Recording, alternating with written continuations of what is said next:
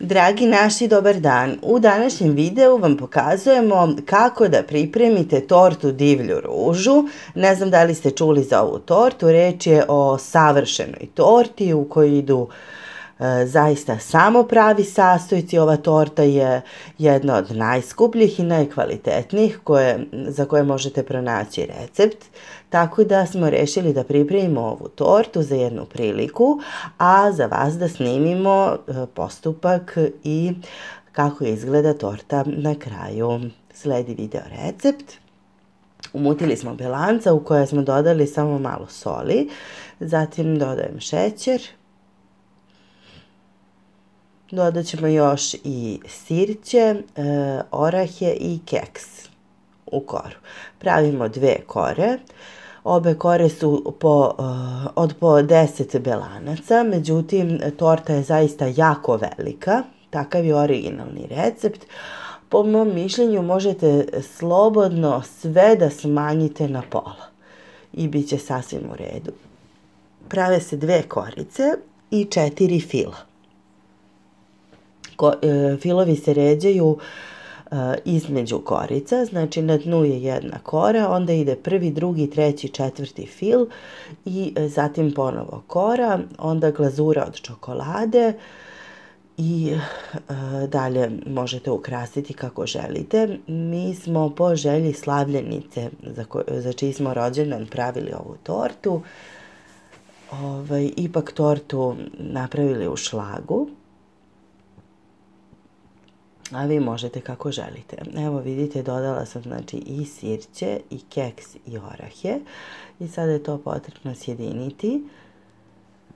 U ovom trenutku sam smanjila mikser na najmanje, na najmanju brzinu, da ne bi belanca pala.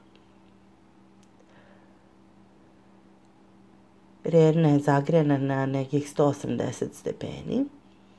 I ova korica, da znate, jako dugo se suši, negde oko 45 minuta. Nemojte da vas iznenadi ukoliko bude puno narasla, to je sasvim normalno. Ona će splasnuti kada se budu filovi stavljali. I verujte da se toliko korici, nemojte je natapati ni sa čim. Toliko se one natope i sjedine sa ovim filovima da je to zaista pravo savršenstvo. Šta da vam kažem kad u ovu tortu ide 20 jaja, oko 400 grama lešnika, preko 600 grama oraha, oko 400 grama plazma keksa, 200 grama suvog grožđa, oko pola kilograma čokolade menaž. Zaista torta je savršena. Puding takođe ide, šlag, a uopšte nije uh, ukus onako kada jedete otužno sladak. Naravno, ipak je za uh, ovo hladnije vreme, ne bih je preporučila baš za letnji period, smatram da u tom periodu treba jesti laganije slatkiše, ali za slavlja je torta savršena. I evo sve smo stavili u jedan veći pleh.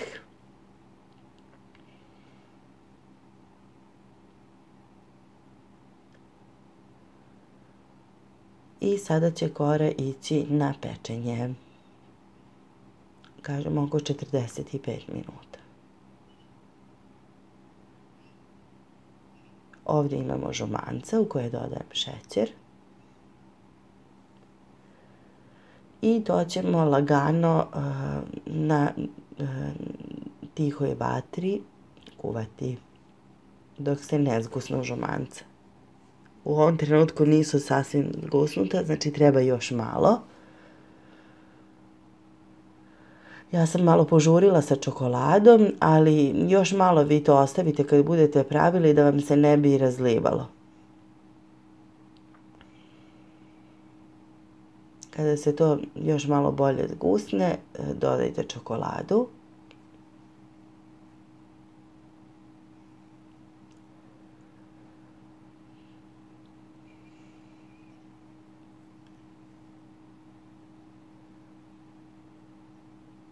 i u ohlađeno dodajte e, margarin. Sada smo dodali lešnike.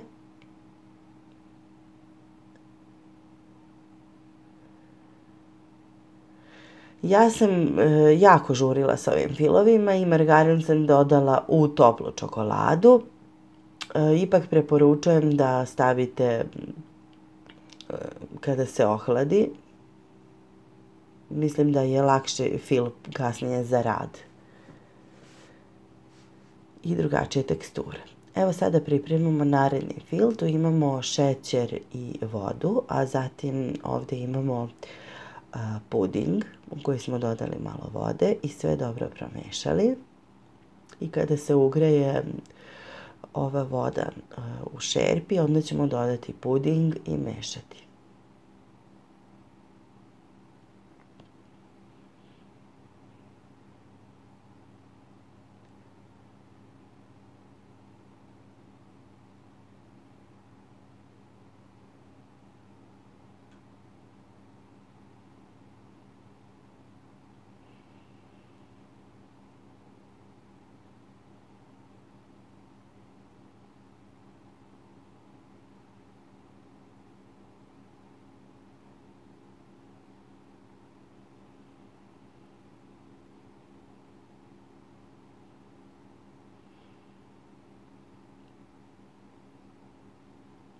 I ovdje imamo margarin.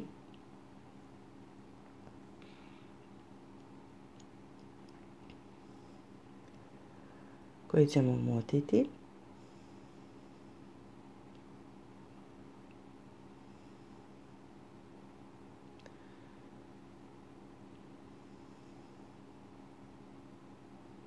Dodajemo šlag, neumućen šlag.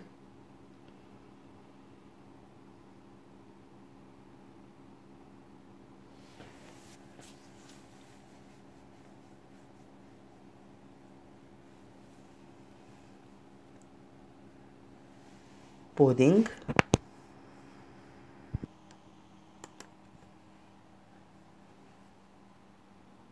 I sa strane imamo pripremljene pržene mlevene lešnike.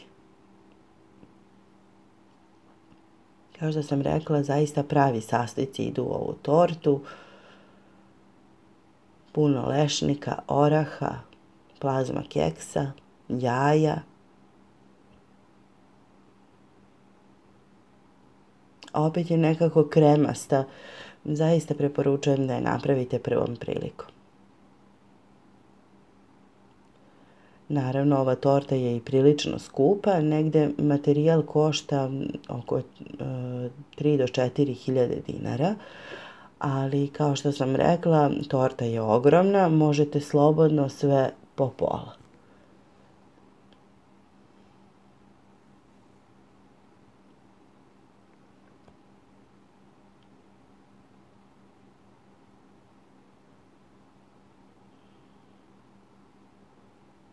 I ovaj fil je gotov.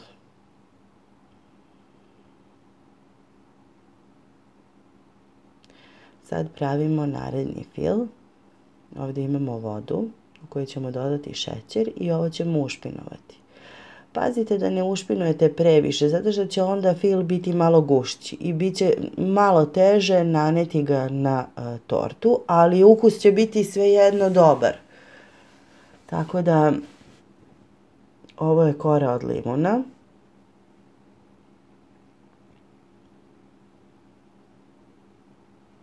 Znači malo ređe nego e, za slatko. Ovdje imamo orahe koji su mleveni i sada ćemo stipati ovaj ušpinovan šećer sa korom od limuna u orahe i sve dobro promešati.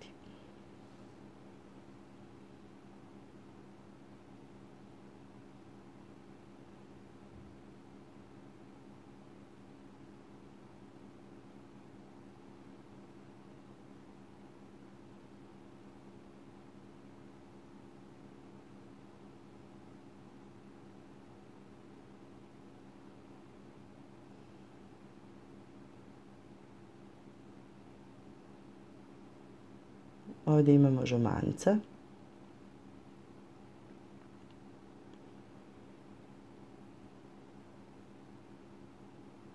šećer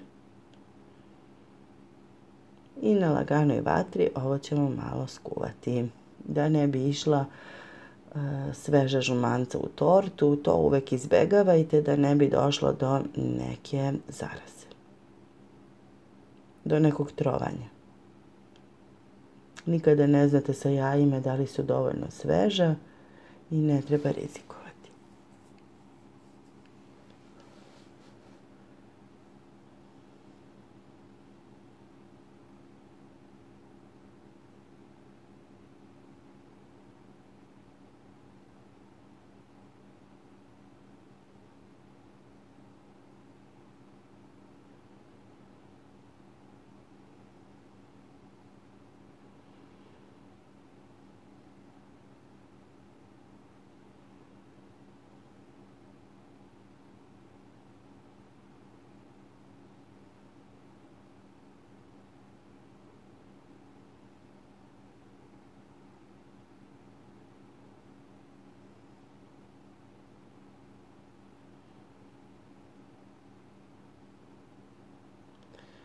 Ovdje imamo lešnike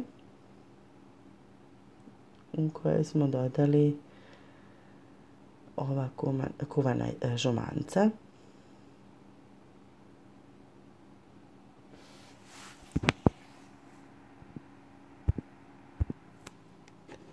Pardon, e, ovo nisu lešnici, već mleveni keks.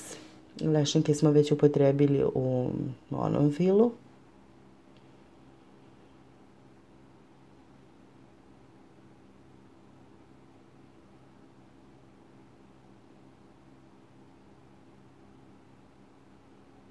Keks obavezno plazma mlevena.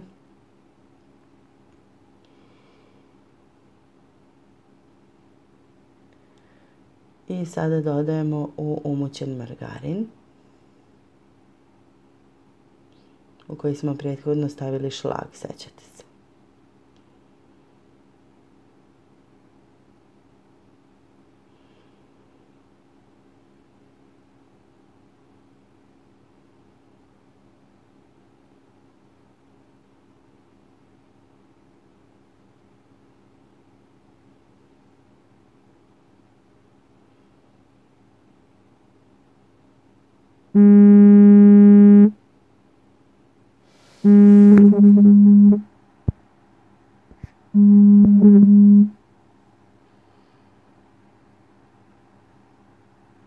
I sada smo sve dobro umutili.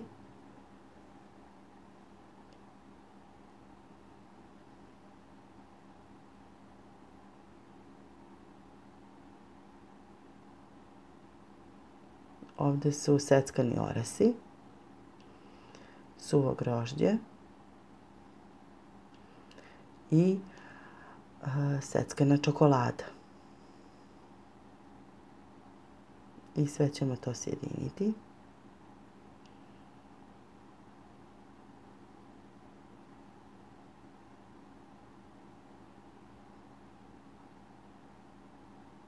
ova torta me potpuno oduševila, sada sam je prvi put jela, iako za recept znam već neko vreme. Zaista je ukus savršen. Pravit ću je često.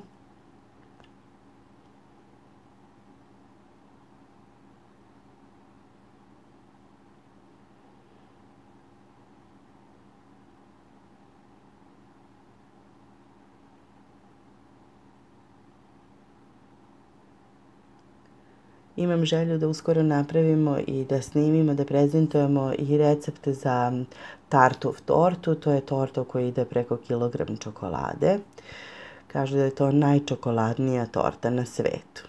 Tako da eto, evo ređamo sad filove, jedan za drugim.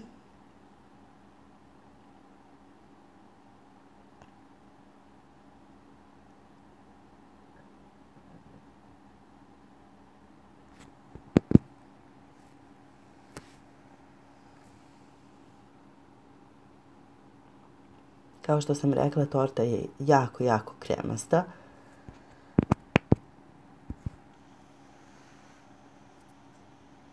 Ali opet se čvrsto drži, kako da vam objasnim. stegnu se ovi filovi i bude čvrsta, ali opet je utisak da je kremasta torta kada je jedete. Drugi fil, e ovo je onaj fil sa orasima gdje sam rekla da smo možda malo više ušpinovali šećer, ali ukus je sasvim odličan, tako da Eto, ovaj, prvi put smo pravili, pa uh, negdje čovjek i pogreši, ali rekli smo vama šta da izbegavate, da ne biste pogrešili. Sad stavljamo onaj fil sa čokoladom, uh, žumancima i lešnicima. Tu smo, kao što sam rekla, mogli malo duže da kuvamo uh, žumanca da bi, se, fil bio gušći i preporuka je da margarin stavljate kada se ohladi, zato što je ovako malo tečnije, malo je teže za rad. I sada stavljamo onaj fil sa suvim grožđem. Vidite, e, preko je išla još jedna korica. I možete staviti glazuru od čokolade. Mi smo po želji slavljenice promenili recept i stavili šlag preko. Evo, Zet je degustirao tortu, pa ima malo tremu od snimanja. Ali vidite kako torta izgleda. Ne izgleda nešto posebno u presjeku, ali verujte mi, ukus je zaista savršen. To možete i sami da naslutite po svim ovim sastojcima koji idu u tortu a, predlažem da stavite preko i glazuru od čokolade, iako mi to nismo uradili. Napravite tortu i javite nam vaše utiske. Puno pozdrava od Milice i Mire. Prijetno!